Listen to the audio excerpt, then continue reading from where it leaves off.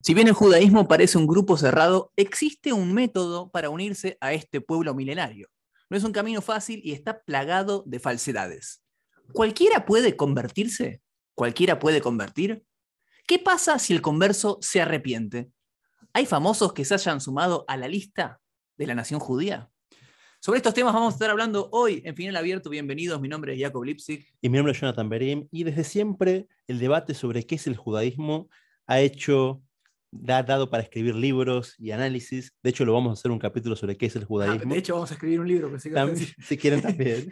Final abierto, versiones de book. Las editoriales ya saben. Seguro, estamos eh, esperando que llegue la propuesta.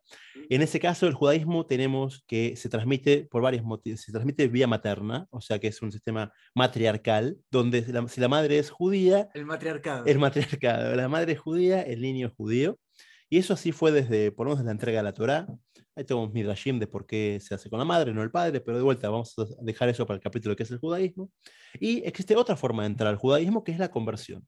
Es una persona que decide sumarse al judaísmo por voluntad propia, por un deseo personal de hacerlo, y también tiene la forma de hacerlo, por más que no nació ni de madre judía, ni de padre judío, ni tuvo ningún vínculo previo con el judaísmo. Ahora, nunca buscamos ese proselitismo a lo largo de la historia. Eso es lo importante, ¿sí? a diferencia de otras religiones en donde hay como una militancia, el, famoso misionerismo, de ir a buscar adeptos y muchas veces a la fuerza, ¿sí?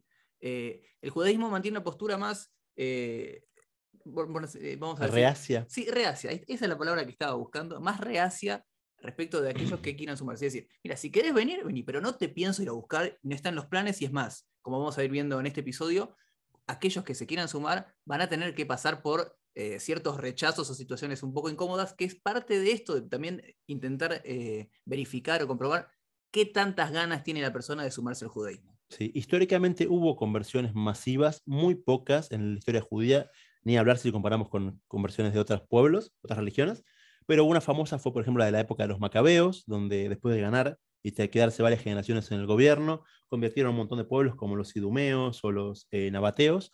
De ahí sale el famoso Herodes, que la Gemara discute si era judío o no era judío, porque justamente el padre había sido convertido a la fuerza.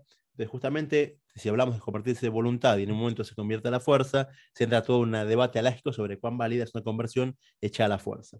Tenemos también la versión que ya hablamos en el capítulo de Goy Friendly, que hablamos sobre la, relación con los pueblos del mundo, que plantea el, Maimónides, donde dice cada persona desde su religión tiene su forma de servir a Dios y, siempre, y no hace falta que se haga judío para hacer las cosas bien. O sea, no, no creemos en una, eh, una binorma del mundo, o sea, está lo nuestro que es bien, lo tuyo que es mal, sino que cada uno desde su punto puede aportar a la humanidad y al crecimiento y por lo tanto el judaísmo no incluye en sus ideales el convertir a todos. Queremos que sean buenos desde su lugar y no desde el nuestro. Bueno, por eso en realidad se genera la pregunta, porque si uno, como, como hablamos en ese episodio, si una persona que no es judía quiere cumplir el designio divino, bueno, están las siete mitzvot, los siete preceptos de, los hijos de Noah que podrían cumplir, están cumpliendo con la voluntad divina. Entonces, siempre se genera la pregunta, para, ¿por qué tenés ganas de sumarte al judaísmo? Si vos desde donde estás podés tranquilamente cumplir con la voluntad divina. Y bueno, vamos a estar eh, desandando un poco este camino. Eh, lo primero que estaría bueno separar es que en el lenguaje del Talmud hay dos tipos de... Primero que se llama Gerim, ¿sí? El, converso en el lenguaje Talmud de Kodesh en, la, en, la, Torah en realidad ger es, como ese, es, converso. Tal cual, en la Torah se usa la palabra ger como extranjero. Cuando, cuando habla de los judíos en Egipto, dice que gerim eiten beretz mitzrayim. O sea, que ustedes fueron extranjeros o forasteros, quizás como palabra sinónima, eh, en la tierra de Egipto. Entonces no estamos hablando de ninguna conversión, sino simplemente de una, una, persona que reside en un territorio que no es el propio. Es interesante que ese versículo, en donde dice, ustedes fueron extranjeros en la tierra de Egipto, es el que después se utiliza por la Torah misma para decir que los judíos tienen que respetar y amar al, converso. porque les dice, mira, vos fuiste extranjero en un pueblo, entonces ahora cuando vengan extranjeros a tu pueblo deberías tratarlo porque vos sufriste en carne propia lo que es estar sometido bajo un, pueblo dominante. Sí, sí. Es de las pocas religiones, de pocos pueblos que quizás no sé si se enorgullecen, pero reconocen una esclavitud previa y la usan en forma positiva. Normalmente uno tapa esos agujeros de la historia y dice, no, no, nosotros nunca fuimos esclavos, nosotros nunca hicimos esto porque queda, queda mal en el, en el estirpe que uno está armando. Judaísmo al revés, lo reconoce, lo admite y lo usa para, para un eh, efecto positivo. Entonces decíamos que en el Talmud en realidad hay básicamente dos tipos de gerim. Sí, está el ger tzedek, por así decirlo, el, el converso justo, Y el Ger Toshab, que es, eh, no, sé si lo puedo explicar en realidad converso, pero es aquel extranjero que esté viviendo bajo dominio israelí, no, dominio del pueblo de Israel, no de, dominio del, Estado de Israel, dominio del pueblo de Israel, que por cuanto que está viviendo, eh, digamos, entre el, pueblo judío, tiene que aceptar las reglas y tiene que eh, acatar las órdenes que indica la, legislación, pero el Gert que cuando estamos hablando de un converso, estamos hablando de un Gert por así como un converso justo. Sí, el, el, el se puede traducir como un residente. Una persona que recibió el permiso de residencia en el lugar, para lo cual se le pedía que reniegue de idolatría y que haga como una especie de admisión mucho más eh, fácil que el Gert O sea, no hace falta que sea judío, simplemente que reniegue o que se distancie de estas costumbres que el judaísmo tiene como líneas rojas a no cruzar.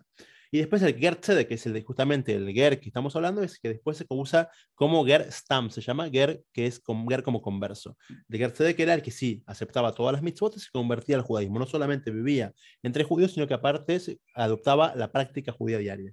El concepto de converso en la Torá tiene un quiebre, como muchísimas otras mitzvot, con la entrega de la Torá.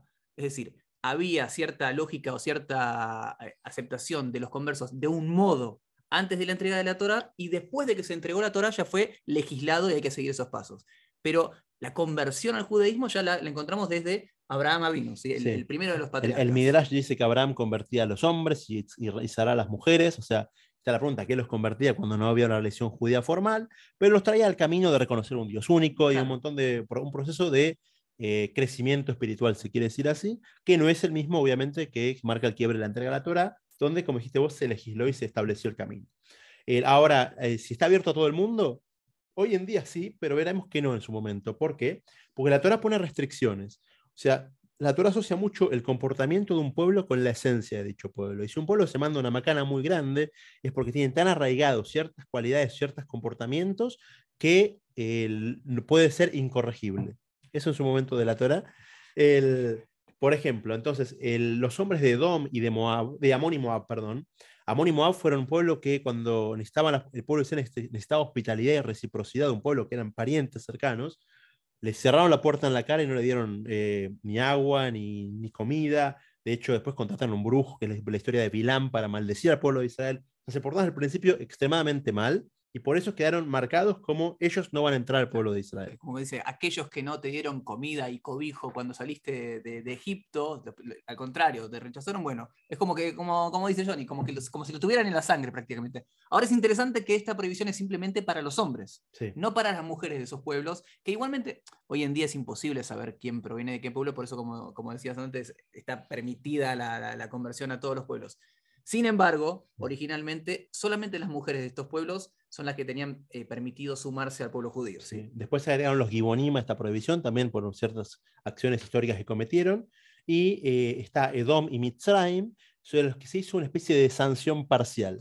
Se dijo que pueden, pero como tenemos una especie de probation, ¿vieron la probation legal de tres generaciones. Entonces se convierte una persona, su hijo es parte del judaísmo, pero se casa con otro converso y no con un judío de nacimiento o un judío converso de, otra, de otro pueblo. Y la tercera generación, o sea, el nieto ya se incorpora al pueblo, como que es una especie de familia que está, como dijimos, en estado de prueba porque tienen ciertos rasgos negativos, pero quizás los pudieron cambiar y superar. Hay muchos eh, personajes importantes en la historia del pueblo judío que fueron conversos o también hijos de conversos. Eh, obviamente, el hijo de converso es un, es un yehudí de manera 100% completa. El converso que fue hecho de manera apropiada y según la laja como vamos a estar hablando, ¿sí? Atención, señora, señor, como ya sabemos, nosotros ya solemos decir esto, creo que siempre lo digo yo y me agarro más, enemigos, hay mucho chanta dando vuelta también en este tema. Ya vamos a estar hablando un poquito más adelante sobre aquellos que te dicen que, bueno, que los salpican con algo y de pronto ya está. Primero que nada, deje el cheque y después se va a convertir el judaísmo. No funciona así, ya vamos a estar hablando cómo funciona. Volviendo al tema, hay muchos conversos importantes en la historia judía. Tal vez el ejemplo más eh, icónico sea el de Ruth. ¿sí? Si querés contar un poco. Sí, Ruth era una mujer moabita que de hecho la Gemara aprende cuando su conversión y el famoso debate que se arma es, escúchame, dijimos que Moab no se convierte, ah, no, pero ahí se aprende que los hombres no, los hombres no, pero las mujeres sí, que eh, es una familia judía que se va a la tierra de Moab, en vez de compartir su, su riqueza, deciden apartarse del, del, judaísmo, del resto del pueblo judío, se van a Moab, en Moab muere el marido de la familia, mueren los hijos se casaron con moabitas, los hijos mueren, y las hijas, o sea, estas viudas moabitas, vuelven con la suegra a la tierra de Israel, una abandona el camino y otra sigue. Y ahí muestra Ruth su devoción por la suegra y por el pueblo de Israel. Dice, yo voy con vos. era una princesa moabita que decide ser una, eh, una, una, mujer pobre, una mujer de bajos recursos en Israel, a vivir eh, una vida millonaria en Moab. Y bueno, justamente su apego a, la religión judía, al Dios de Israel, la convirtieron en uno de los símbolos de la, de la conversión. Y lo, más importante, tal vez para mencionar, es que de ahí proviene el reinado. ¿sí? O sea, de la descendencia de Ruth proviene el rey David. Sí, así el, El, Malhut, el, reinado de Israel, viene de ahí. Eh, también hubo otros casos, eh, y, Tro también. Sí, y el, suegro, de Moshe, o sea que la continuidad de, la, estirpe de Moshe vino con su esposa Tzipora, que era hija de un sacerdote midianita, y Tro, que también se convierte al judaísmo. Eh, tenemos el caso de Rahab, que es la mujer que recibe a los espías cuando entra a la tierra de Israel, que después, según el Midrash, se casa con Yoshua. Y así tenemos un montón de casos. Más adelante en el tiempo, una conversión más masiva se ve en el libro de Ruth, del libro de Esther, perdón, la Meguila que leemos en la fiesta de Purim, donde en el capítulo 8, en el versículo 17, habla que después de la victoria judía fue tal el impacto que tuvo que de repente muchos se judaizaron. Conjuga la, la palabra judío como, como verbo, y ahí habla de una conversión grande de gente que es, se hizo adepta al judaísmo. Onkelus, el famoso Onkelus, se, lo llama, así, se lo llama Onkelus el converso y hizo uno de los comentarios, una de las traducciones. Mezcla la traducción y comentario, porque toda traducción no pone parte de, de cierta explicación. A la, a la, Torah, que también es algo eh, que no solo es masivo, sino que está en todos los Humashim que tenemos al día de hoy. no existe, una Todo Yehudí tiene que cumplir con la mitzvah. no, tal cual, no existe un Humash que no lo tenga, y aparte el Shukanus lo incorporó como ley uno tiene que leer todas las semanas dos veces la, la Torá y una traducción de Onkelus. O sea, eso se convirtió casi en un grado de, de eh, súper sagrado para la tradición judía. Bueno, después eh, hay casos en el Talmud también de que son hijos de Gerim, Rabbi Akiva y Rabbi Meir. Eh, Rabbi Akiva, para, para que tengamos noción, toda la Torá oral viene de Rabbi Akiva. ¿sí? Es famoso los 24.000 alumnos, que después quedaron 5, pero los 5 eran alumnos de Rabbi Akiva. Y todo el Talmud va siempre al IVA de Rabbi según la, postura de Rabbi los, sus cinco alumnos son los que nos dieron la Torah oral, con los Midrashim, el Talmud, etcétera, etcétera. Todo proviene de Rabbi Akiva, cuyo padre era un converso. Sí. Los maestros Rabbi Akiva, Shemaya y Abtaleón, también. maestros de Irel en ese momento, que, o sea, por tradición, maestros, que también eran conversos, y o sea, justamente los conversos se, se incorporan al judaísmo y vemos que se convierten muchas veces en personalidades destacada, o sea, no, no queda en un segundo plano, sino todo lo contrario. Es interesante también que en, en la tefila, en los rezos que hacemos todos los días, el ger y el tzadik van juntos, ¿sí? En uno, de los rezos unimos los gerim con, con, los tzadikim, está presente. Ahora, es importante aclarar, no es que uno diga, bueno, eh, es muy fácil, es, facilísimo, te van a recibir con los brazos abiertos, sin que, si querés sumarte al, al pueblo judío, manda un mail acá y enseguida te aceptan, espectacular. No es así. Como decíamos en la, apertura de este episodio, es un proceso que, sobre todo cuando ya fue legislado y hay pasos a seguir, uno de los pasos en que está indicado en el Shulchan Aruch es hay que investigar, hay que hacérsela difícil a aquel que viene a sumarse al pueblo judío. ¿sí? Esto puede sonar feo, pero es, es, parte de este chequeo para ver, bueno, a ver cuántas ganas tiene esta persona de sumarse al pueblo judío. Seguro. Y dentro del Talmud en sí, en la relación con el Ger, vemos eh, muchas eh, relaciones, muchas eh, relaciones positivas y algunas negativas también. El, por ejemplo, hay una opinión que dice que el pueblo judío fue al exilio solamente para traer consigo los gerim, la gente que quiere eh, eh, venir al judaísmo. Dije retornar porque hay un aspecto cabalístico también que lo trae el Arizal, que dice que las almas que vienen al judaísmo son porque en algún momento estuvieron, si fueron parte del judaísmo o estuvieron escuchando la entrega de Dios en Sinai o se perdieron porque por la asimilación, pero son gente que vuelve al judaísmo, siempre se vuelve, dice Larizal, es un tema cabalístico, ya no un tema legal. Pero bueno, el Talmud de repente dice que salieron para, justamente para, para, traer, para traer a los Gerim. Después trae como de repente todos los malvados de del pueblo judío tuvieron nietos o descendientes que volvieron que llegaron al judaísmo. El, hay una más. El, bueno, eh, son todas por ese mismo estilo que eh, vuelven al pueblo judío o que justamente le aportan grande, gran, eh, gran mérito al pueblo judío, y algunas negativas, como que los gerim son a veces duros para el judaísmo, como, como ampollas en la piel, como una enfermedad, pero justamente las explicaciones que traen los comentaristas sobre estos aspectos es que muchas veces el que se acerca al judaísmo se acerca con tanta devoción que termina cumpliendo las leyes del judaísmo mejor o con más hincapié, más puntillosidad que el mismo judío de nacimiento, entonces de repente dejan mal parado al otro. O sea, escúchame, mira, el que vino ahora... El fervor del converso. Sí, el fervor. Tal cual, el que vino ahora tiene mucho más eh, voluntad y ganas que vos, entonces en ese aspecto se explica la, la, la interpretación de estos pasajes que no son tan favorables al, al, converso. Ok, hay dos, dos, puntos que fueron centrales en algunas preguntas eh, que llegaron, que nos fueron llegando, que de paso aprovecho para, aprovechamos para agradecerles todo el, apoyo y como siempre decimos, coméntenlo, compártanlo, que obviamente le suma mucho al canal y a cada episodio. Hay dos puntos que tenemos que tocar. El primero tiene que ver cómo, cómo funciona la, la cuestión alágica y la famosa eh, el famoso debate que se da sobre todo en Latinoamérica, si tiene que ver, bueno, se puede hacer una conversión en cualquier lado, está, eh, existe una prohibición en particular de ciertos países latinoamericanos. Vamos primero, ¿te parece?, a la, a la parte alágica. Sí. Hay básicamente dos puntos eh, centrales que tienen que ver, para los hombres, el, la circuncisión, el Brit Milá, y también eh, pasar por la mikve. ¿sí? Eso, pero son cuestiones técnicas. Antes está obviamente el, la verificación de cuántas ganas y qué tan dispuesta está la persona a sumarse al pueblo judío. Todo el proceso tiene que estar comandado por lo que se llama un Beit Din. Básicamente serían tres Talmidei Jajamim, tres, hombres sabios, ¿sí? Tres hombres sabios. Sabio significa que saben mucha Torah, ¿sí? no que saben hablar o que hacen buenos videos, que sepan mucha Torah y que estén eh, acompañando en todo este proceso.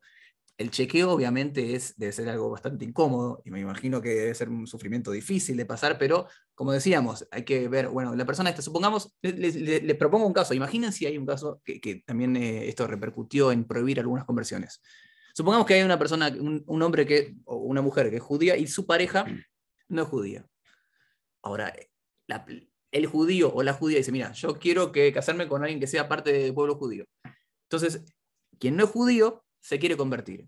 Bueno, convertirse para casarse con alguien no es una razón válida. Simplemente por eso no, no está permitido. Es más, va a ser esa persona va a ser rechazada, no se le va a permitir sí. convertirse. Que de hecho eh, está la conversión, conversiones famosas como la de Marilyn Monroe o la de Cristian Castro, que se convirtieron justamente en este aspecto para casarse con alguien, que después rechazaron la conversión y toda una historia, pero ya la misma conversión habrá, habrá sido hecha por un tribunal que no hizo los chequeos y por lo tanto no era válida desde un principio, porque justamente fue una conversión puramente eh, del momento de conveniencia. Por, de conveniencia. Eh, Drew Barrymore también se convirtió para casarse con un judío y nada más. Ah, okay. Se quedaron con casos, y fíjense que no tienen ninguna trascendencia posterior, porque justamente se divorcian y así como abandonan la pareja, abandonan el judaísmo, y justamente no es las conversiones que el judaísmo está persiguiendo lograr.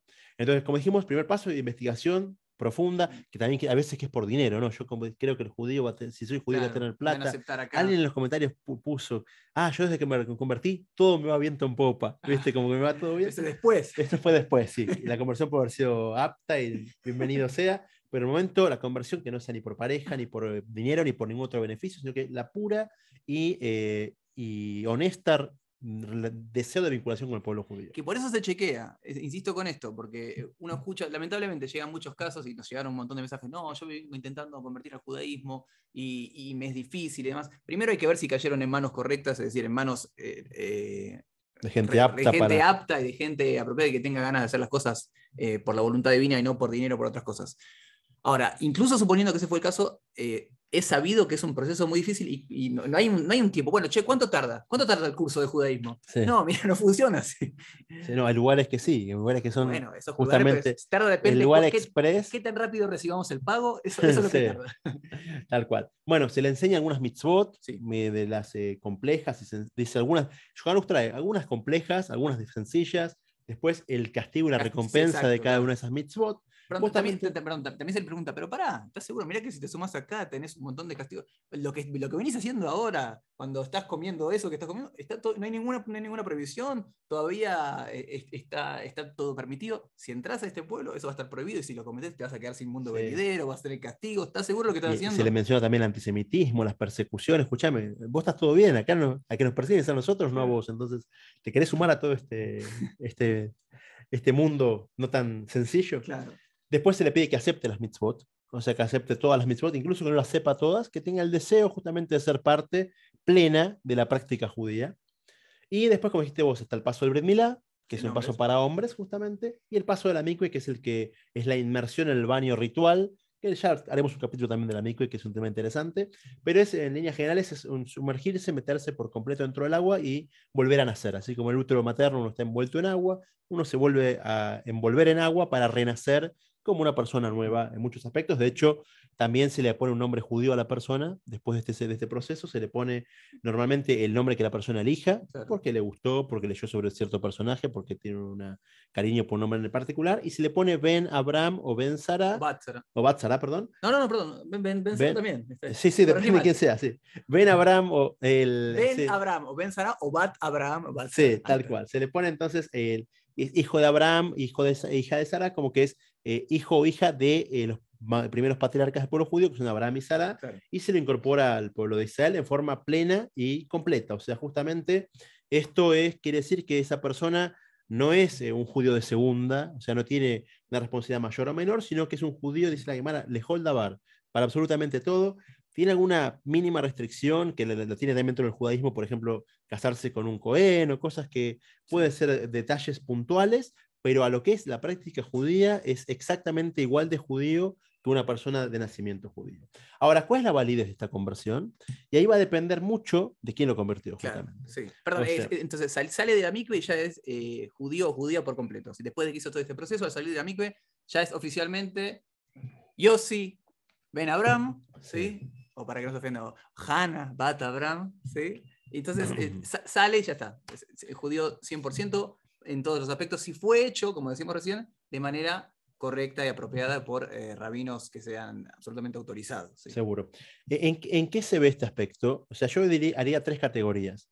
Está la categoría quizás eh, chantas, la categoría, la categoría judaísmo no alágico y la categoría judaísmo alágico. Quizás serían las tres grandes categorías para poder entender, que lo entendamos todos. El, o sea, el judaísmo alágico es el judaísmo, quizás el judaísmo ortodoxo, que se llama ultra ortodoxo, que agarran, se fijan el código de leyes judía y te dice cómo se hace, así lo hacemos. Perdón, ortodoxo y también, eh, para porque varias veces cuando decimos ortodoxo, dicen, no, hablan solamente del mundo jaredí. No, no, no. Mundo que sigue la alajá, ¿sí? También está el sí, puede ser jasídico, puede ser misrajías, que tal cual. Que siguen la alajá, que vienen al Yuhanuj y hacen lo que el dice y no... Eh... Que creen en la, en la Torah oral, ¿sí? en, la, en, la, en, la, divinidad de la Torah oral, en la divinidad de la Torah escrita. ¿sí? todo, lo, todo el paquete. En ese caso es una conversión válida. Después puede haber eh, varias opciones, mucha gente, por ejemplo, mucha gente que quiere tener los papeles 100% claros y si no quiero despertar ningún, ninguna duda a mis hijos el día de mañana, entonces hace conversiones, hace dos veces, por ejemplo. Hace el proceso con el Gran Rabiato de Israel y después hace en Benebra con Rabnissim Karelitz. Mucha gente hace eso, no hace falta, cualquiera de las dos es válida y lo correcto es eh, siempre buscar quizás el, lo más estricto, lo mejor, que normalmente es la Rabanuta Rashid de Israel, el contrario de lo ah, que más, es, más que si normalmente es ese, es el más estricto de todos porque es el, el más sistematizado, el que está bien pensado, todas las idas y vueltas y el que más cuesta hacer. Entonces, mucha gente hace porque quiere por las dudas, es un poco acá, un poco allá, es otro de Estados Unidos. Normalmente con hacer una y bien es suficiente y es lo que convierte a la persona en judío. Después, en el segundo eh, grupo que dijimos, también vamos a hacer un capítulo del tema de las corriente del judaísmo, tenemos que meternos en ese tema también en algún momento. Hay una segunda temporada igual. Sí, sí, está dentro punto. Venimos con bombas. La segunda temporada también es tal cual. En, en ese caso tenemos eh, gente que se siente judía o vive judaísmo de una forma no alágica. No, para mí el judaísmo es cierta comida, para mí el judaísmo es eh, cierta lectura, ciertas costumbres. Esa gente que se desconectó de la alhaja también hace eh, hoy en día conversiones. Es un gran problema. Y para el judaísmo ortodoxo esas conversiones no son válidas. Porque... Perdón que te Para el judaísmo esas, esas, conversiones no son válidas. Eh, quizá esto lo vamos a desarrollar más. El judaísmo no es un sentimiento, ¿sí? Puede ser Racing, sea un sentimiento. El judaísmo es una serie de reglas. Es un pueblo que tiene ciertas reglas. Perdón que, que lo menciona así. Ya vamos a hablar de ese tema. Pero una conversión que no siga la alajá, por más que haya mucho amor, mucho cariño y un montón de ganas de sumarse a este pueblo, no es una conversión, ¿sí? Y sobre todo los que pagan es generalmente la, descendencia, porque resulta que después de esta conversión se va y se hizo socio de Maccabi, lo que fuera, o por, por nombrar o algún club social o algún, algún, colegio judío y empiezan a salir y al final se termina enterando que no era judío y todos terminan sufriendo porque, bueno, ahí hubo una decisión equivocada por lo general no malintencionada. ¿sí? para nada es la culpa de aquel que intenta convertirse. La culpa es generalmente de los responsables que hicieron esa conversión no siguiendo la alhaja. Sí. Una de las personas que nos escribió nos preguntó qué consejo les damos. Quizás el primer consejo sería cuando uno llega al lugar, preguntarle cuál es la validez de la conversión que estoy teniendo. Porque se la van a decir, no creo que se lo oculte. Va, depende cuál. No, hay, gente que no. Entonces sería averiguar con ¿Cuál, ¿Cuál es la validez? ¿Hiciste el depósito? No, es la más válida de todas. Eh, el tercer, el tercer, la tercera categoría que tenemos que llegar es gente completamente estafadores directamente. De hecho, he visto eh, tribunales rabínicos eh, oficiales y válidos publicar, no tenemos representantes, no tenemos sucursales. La gente se viene en nombre de otro a cobrar plata a la gente, a empezar con estafas y jugar con ese buen deseo de la gente de acercarse al judaísmo. Y justamente como todo piola o gente avivada que se mete en el camino para obtener un rédito económico. Justamente el primer paso es llamar, levantar un teléfono y llamar a Rabanuto Rashid de Israel o el gran rabinato de su país para poder consultar. Esta persona que me viene a convertir, justo nos pusieron una persona, ¿no? Me, yo seguí todas las clases, de, no me acuerdo el nombre de la persona, seguí todas las clases de él y terminé y, de repente nos buscamos, es una persona que es un, pastor evangélico, que nada que ver. Es justamente entonces está gente engañada totalmente y al hacer Internet la democracia de la información, que es buenísimo, es también delicado. Uno tiene que saber con quién está tratando, o sea, quién está dando la clase, quién me está eh, conduciendo guiando, aconsejando, porque es realmente peligroso, porque después uno se cuenta con una estafa años después, donde causa decepción, pérdida económica y un montón de otros perjuicios uno cree que ya era parte del judaísmo y uno se cuenta que tiene que empezar de vuelta. Es muy delicado esto, tengan eh, atención a esto, contacten con una persona autorizada que lo sepa derivar a quién, o a quién seguir. Ahora, más allá de eso, es decir, incluso en un montón de países en donde hay rabinos que siguen toda la halajá, cumplen con la halajá desde el principio hasta el final, absolutamente con todo, que hay grandes sabios, grandes talmides Jajamín, por suerte, en todo, en, todo desperdiados por todo el planeta, por suerte y eso. A pesar de esto, hubo varias decisiones rabínicas en donde en distintos países está prohibido convertir. Un ejemplo, tal vez el ejemplo que nos toca más de cerca a nosotros por ser argentinos, es en Argentina, en donde hay un montón de grandes sabios que eh, son expertos en Torah, grandes rabinos. Sin embargo, la conversión en la Argentina, como sucede en otros países de Latinoamérica, está prohibida. Entonces, por más que se junte eh, tres grandes rabinos, que no lo van a hacer, obviamente, porque ellos mismos saben que está prohibido, pero el, aquel que tenga un certificado de conversión de Argentina dice, no, acá hay algo raro porque esto no está permitido. Podemos contar un poco la historia. Tal cual. Todo empezó con el Jajam Shaul Sutton Dabá, que era rabino de la comunidad Halevi, la comunidad oriunda de Alepo, en, en, Argentina. Él nació en Alepo, después en 1851 fue a Argentina, se convirtió en rabino, gran rabino de la comunidad lepina de Buenos Aires, y de repente llegó un musulmán a convertirse al judaísmo. Y el rab no sabía bien cómo tratarlo, qué hacer, si, si aceptarlo o no aceptarlo, y se contactó vía carta, como era lo, lo, clásico en esa época, WhatsApp, WhatsApp todavía no estaba, con el rabarón Levi Goldman, que era el rabino, uno de los principales rabinos de Ashkenazim, era el rabino de Moisés Ville. O sea, en, Entre Ríos, sí, en Entre Ríos, ¿eh? Sí, mandó una carta. No, no, no, no, Entre Ríos, no, no, no. También Entre Ríos tiraba lejos. Y el, entonces, el, también el rabino que nació en el Imperio Ruso y murió en Argentina, y también fue uno de los líderes del, del judaísmo, de los famosos gauchos judíos, todo lo que hubo, la, el, la gran eh, vivencia judía que hubo sí, en, en, las, en las colonias judías de, entre Ríos. Entonces le escribe al Rabbi Goldman y le dice, el Rabbi Goldman le responde, mira, acá la gente está convirtiendo y nadie cumple nada. La gente, los que sí se convirtieron, ves que no están haciendo nada, que es todo teórico, todo una formalidad que después no se lleva a la práctica, o sea que la voluntad de convertirse no es correcta. Y, había también casos bastante más serios que tienen que ver con que querían casarse con una persona que no fuera judía y dice, bueno, déjala, convertimos y listo, ya está, es un trámite chic-chac. Tal cual. Y bueno, y el, el Jajam Sutton Daba, que de por sí venía de una eh, óptica eh, eh, alepina de la situación, donde hay que aclarar algo. Siempre los Rabanim Sefaradim fueron más laxos con respecto a la conversión que los Ashkenazim. O sea, siempre cuando uno quería convertirse en una comunidad de España o, de, o, africana o norafricana o, o, incluso de Medio Oriente, había restricciones, había pasos para cumplir, Shuhan Aruch, pero terminaba siendo un poquito más fácil que en Europa. Más que en Europa había mucho más asimilación y mucho más eh, conveniencia, quizás era más difícil. Entonces las comunidades que fueron siempre más reacias a la conversión. Y así fue que el Shaul Sultan dice, mira, esto no puede seguir así entre la gente que después no cumple y la gente que lo hace por intención puramente eh, matrimonio. Esto no puede seguir así, así que prohibió, puso un cartel en su comunidad diciendo, a partir de ahora, solo serán aceptadas las personas que se conviertan en Jerusalén y Mirakodesh. En Jerusalén tienen que ir hasta allá y ahí convertirse. Acá no convertimos más a nadie. Y empezó en la comunidad de él, el, también Rap Goldman lo aceptó en Entre Ríos. Después se fue. Eh, se expandió todo el país. Eh, sí, pero tardó un poquito. Eh, con, con, él quedó más o menos ahí. después, cuando viene el Rab, el, el, siguiente, que el, sucesor de él fue el Ham David de Sutton Dabaj, mismo apellido, pero no era el hijo.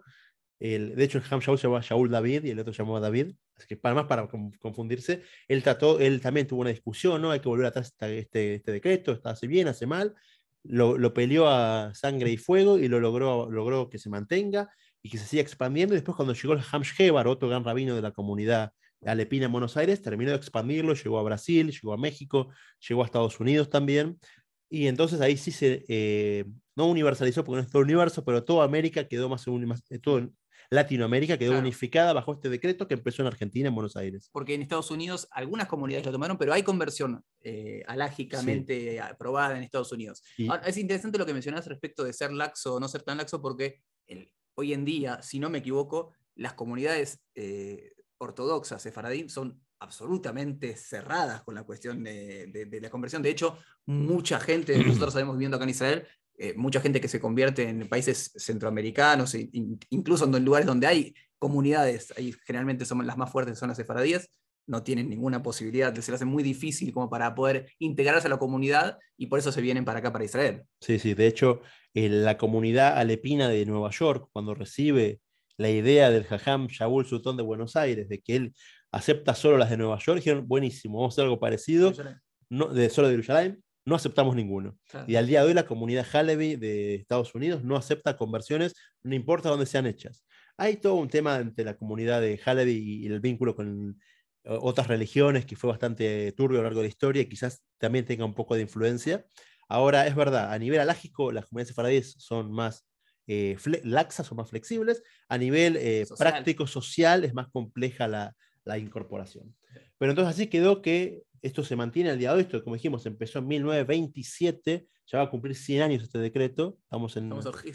Eh, este Jerem, tal cual, una, una excomulgación a quien lo hace, y al día de hoy se mantiene. Hubo comunidades que tardaron más en aceptarlo, por ejemplo, la comunidad de. la, eh, la comunidad de Moldes, no, de Moldes, de, sí, de, llegó ante Ríos y no llegó grano Pero eh, otro barrio de la capital federal, que en su momento la comunidad del el Raúl Klein y el Raúl de la comunidad dijo: no, está bien, ellos decreten lo que quieren, yo sigo con la mía. Rabo Penheimer, padre, o sea, Rabio Josefo Penheimer, también siguió haciendo conversiones porque no, no tomó este, este decreto. y, y, después, y después sí se terminó de hacer masivo el, con Amia, Amia lo de Rabenjamú y la de Rabantero ya lo habían aceptado como algo masivo. Hoy en día quedó ya completamente vedada la conversión.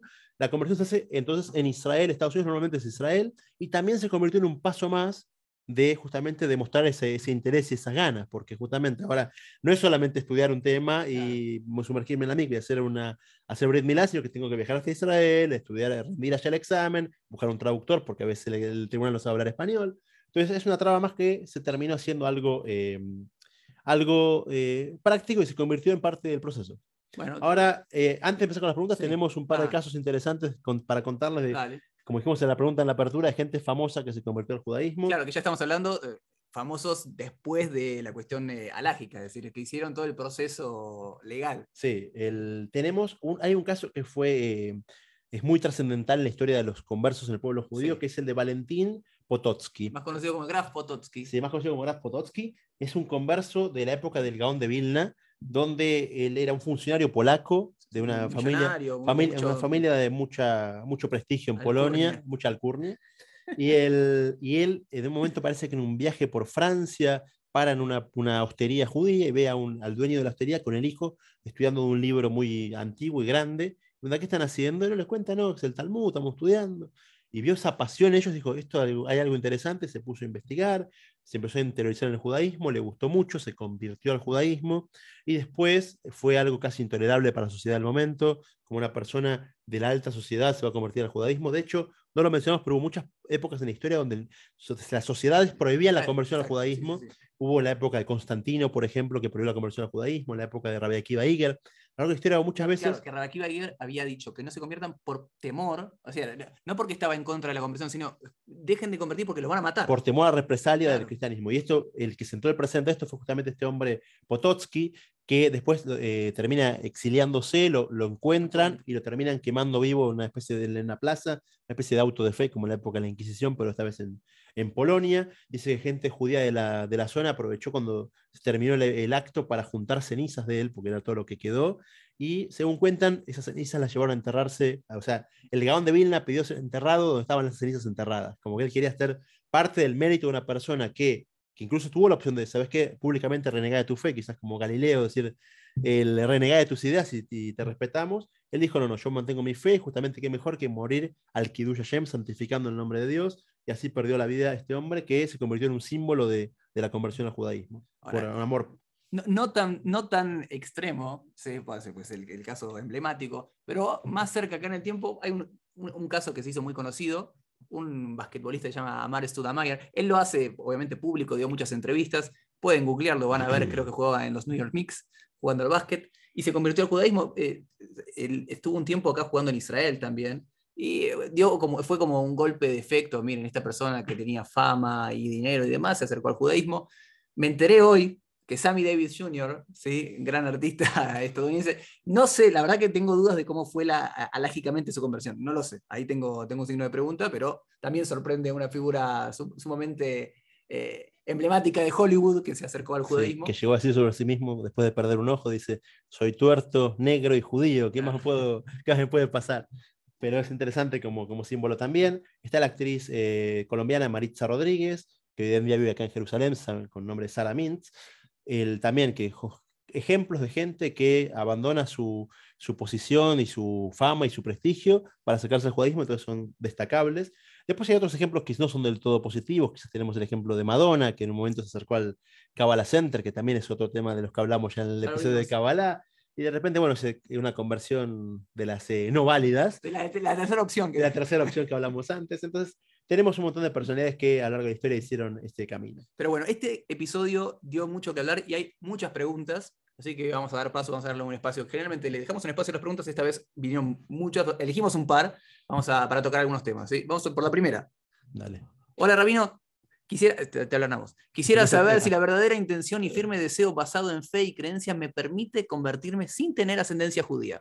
Bendiciones desde Colombia. Colombia es un país que tiene una gran tasa de eh, conversos al judaísmo. Sí, esta pregunta de Hugo, el- quiero aclarar dos cosas. Primero, como dijimos antes, que no hace falta ascendencia judía. Y algo interesante que no mencionamos, que es lo que es el Giur Lejumbra. Es un concepto interesante que nos olvidamos de decir, que es que muchas veces gente que tiene ascendencia judía, pero no está completamente comprobada, por ejemplo, pasó en Israel cuando volvieron los judíos de Etiopía, o los Benay Menashe de la India. Entonces, lo que se hizo fue el concepto de Giur Lejumbra. Mira, ¿sabes qué? Creemos que sos judío, está todo casi bien, Pero las hagamos dudas. por las dudas una conversión, cosa de que los papeles estén di- al día. Entonces, en ese caso, con ascendencia judía, se hace una conversión de esta por las dudas. En el caso de que no tenés ascendencia judía de ninguna manera, ya no es Gegur Lejumbra, sino que es un- una conversión común, y como dijimos antes, no, hace, no es un requisito de ascendencia judía, todos pueden convertirse.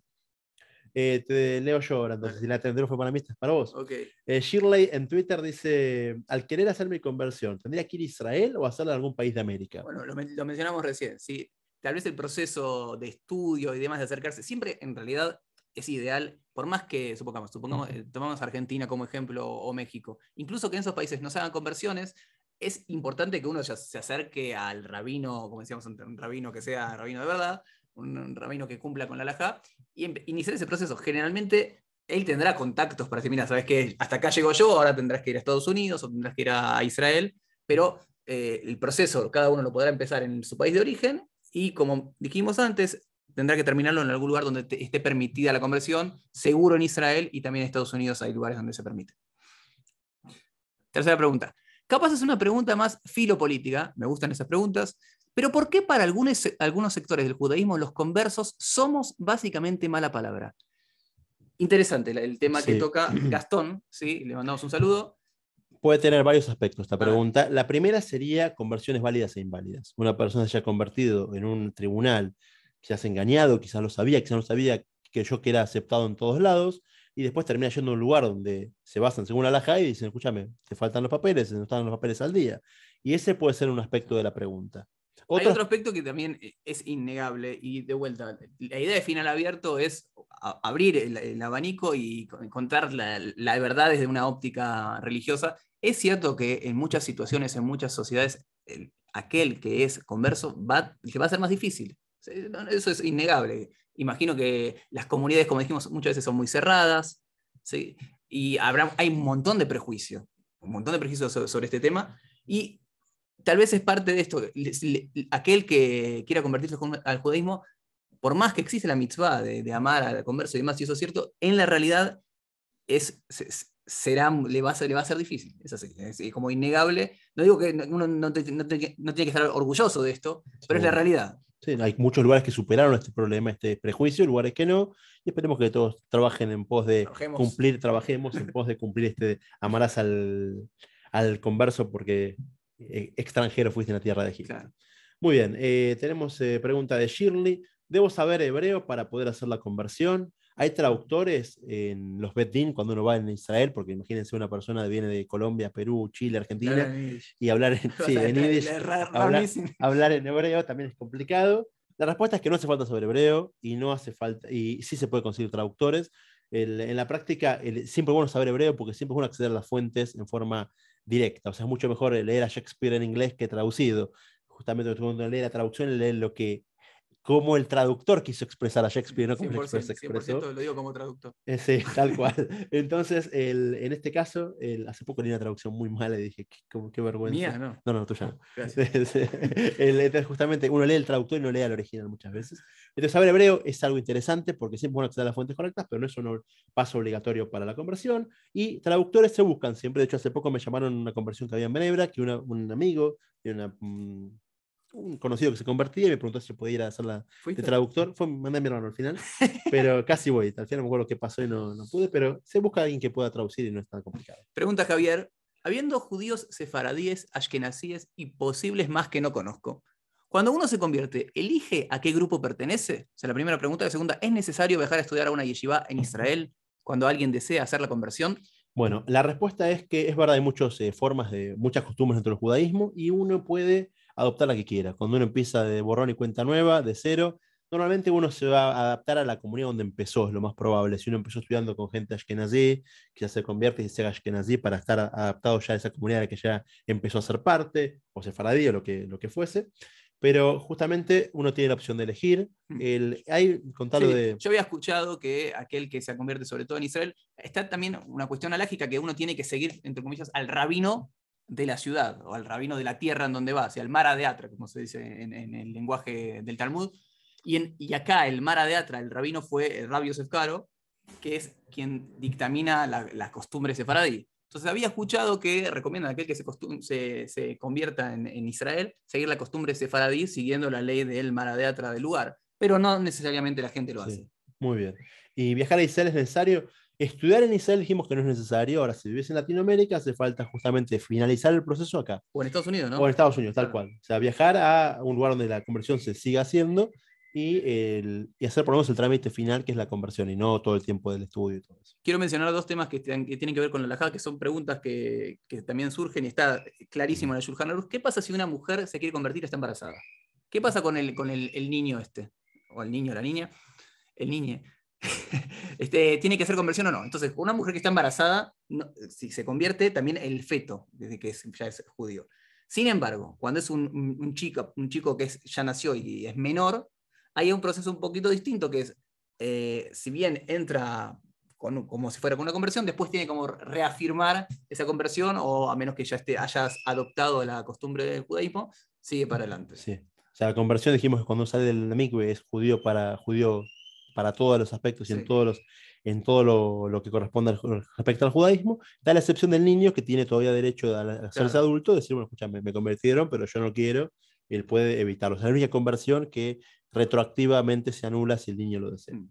Eh, Harold en Twitter pregunta, eh, si no estoy de acuerdo con el misticismo judío, la cábala, no soy aceptado para la conversión.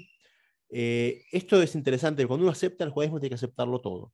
O sea, una, una, por lo menos las mitzvot. O sea, si una persona dice, no, a mí eh, las cuentas cabalísticas de los números quizás pueden ser hechos no, no centrales en el judaísmo y eso no afectaría la aceptación. A lo que es mitzvot, si sabes qué, Incluso uno. Esto de rezar a la mañana, no. Sí, tal cual. Esto de tefilim, no. El resto sí, pero, pero dar el diezmo de lo que gano para los pobres, seguro que no esa persona no sirve porque la aceptación es total. la conversión no sirve. ¿Eh? La conversión no sirve. ¿La ¿Qué dije? La persona no sirve.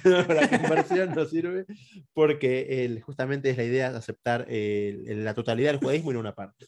Él sigue preguntando algo interesante que es... Alágico, clarísimo en el también. Si alguien ya está circuncidado, ¿es esto un problema a la hora, de convertirse? no, no es un problema. Lo que sí tiene que haber es que eh, salga sangre. Entonces, lo que se hace, si no me equivoco, es como pinchar. No, no sé, ya no hay, no hay nada que circuncidar evidentemente. Sí, de hecho, hay, dos opciones. Puede ser que la gente se, operó para, para hacer ah. la, circuncisión médica, un tema de higiene, o gente que nace circuncidada, o sea, nace sin el prepucio. Entonces, esa persona, que incluso un judío que nace así también, como hace, como dice el Midrash de Moshe, se hace atafatnam, como bien dijiste, que se hace un pinchacito pequeño con una aguja para que caiga una gota de sangre, y esa es la circuncisión simbólica de entrar en el pacto de Dios.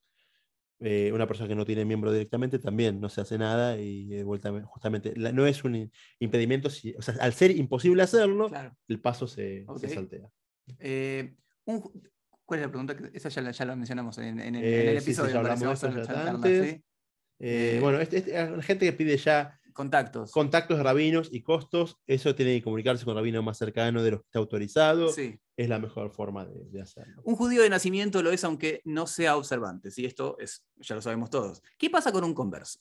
¿Qué pasa que pasa a ser de poco o nada observante. Es decir, ¿qué pasa? Lo, traduzco en otras palabras. Una persona se convierte al judaísmo y después decide, ah, no quiero cumplir más con, con, las mitzvot o los preceptos. Es decir, ¿qué pasa? ¿Se vuelve para atrás? ¿Se cancela la conversión? ¿Volvemos a cero? No. Tal cual, no. No se puede hacer esto. En, en la Rabanut de Israel implementaron hace no mucho tiempo que se le retiene el documento de conversión unos, un tiempito ah, para, ver cómo... para ver cómo se va a comportar. Más que nada creo que es una especie, una especie de amedrentamiento de la persona, pero a nivel alágico, una persona que salió de la mikve es yehudí, es judío al 100%, porque pasó todas las etapas de conversión, y si el día de siguiente, el día de mañana, en un futuro, deja de convertir, deja de practicar, tiene el mismo estatus que cualquier otro judío que no practica. O sea, es un judío que no observa las leyes del judaísmo, pero sigue siendo judío. Eh, Vamos a la última. Eh, alguna antes? Ya, eh, esta ya estamos. Eh, eh, sí, dale. La última. Preguntó Raúl, la conversión al judaísmo es una utopía para muchísimos en Latinoamérica. Difícilmente alguno logra y después de mucho tiempo que se le acepte. Conozco el testimonio muy cercano de algunos que se decepcionaron después de años esperando. Que tienen que ver con lo que ya mencionamos. De, primero que nada, no hay un tiempo, no hay un curso, como, como mira, es un curso de tres meses donde al final te damos el título y no cada, cada rabino, primero que nada estamos hablando de rabinos que hacen la cuestión eh, alágicamente correcto, cada rabino sabrá evaluar y tener en cuenta cómo llevar cada caso y caso, no hay algún tiempo estándar de, mira, eh, ¿cómo puede ser? Ya se pasaron seis meses, ¿cómo fue que no me dio el, documento? No es así, cada caso habrá que analizarlo de manera particular. Por otra parte, como decíamos, hay veces que eh, hay muchos chantas y quizás están inventando cosas. el, el proceso es en, sí mismo algo difícil. Imagino como cualquier cosa que algo, alguien quiere mucho, muchas veces es difícil.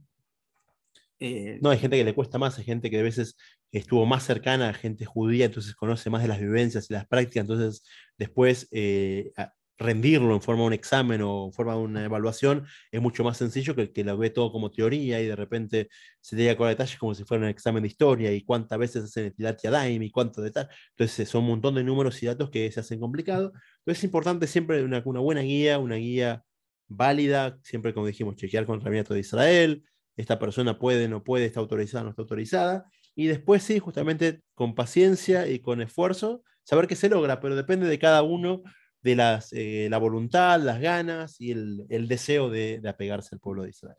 Bueno, hasta que llegamos, el mensaje sobre todo es cuidado con, además de todo lo que cuidado con los chantas que te están dando vuelta. Es tan fácil ahora subir un video y decir, sí, mira, si me mandas tanta plata, te voy a mandar el certificado de judaísmo sellado por el gran rabinato de no sé dónde. Tengan cuidado, sean inteligentes. Como una vez hablábamos fuera del aire. Si, si cuando vas a arreglar el auto, chequeas bien que el tipo no sea un chanta, acá estamos hablando de una cuestión espiritual, mucho más uno tiene que fijarse y estar atento a esto. Eh, me parece que acá cerramos, hasta acá llegamos hoy con final abierto. Muchas gracias por estar ahí. Como siempre, compartan, eh, comenten y demás. Y nos vemos la próxima.